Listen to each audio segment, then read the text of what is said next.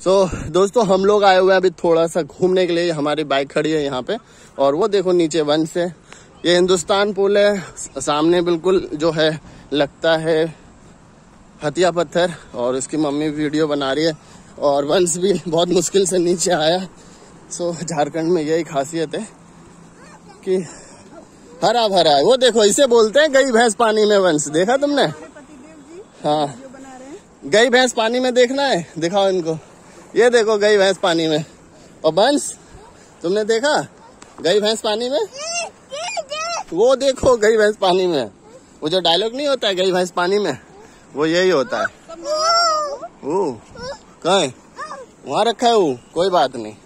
और ये दामोदर नदी का बहुत ही शानदार सूरज डूबता हुआ सीन काफ़ी प्यारा लग रहा है। ये क्या बना हो वंश चलो बाय बाय कर दो। नहीं बाय बाय थैंक यू